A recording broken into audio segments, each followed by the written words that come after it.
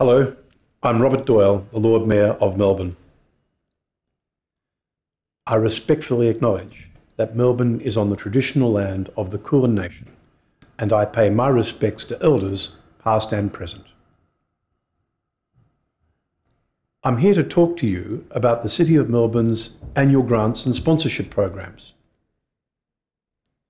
This year, we've committed more than $9 million to supporting our community through a range of programs and projects. City of Melbourne has a strong commitment to accessibility.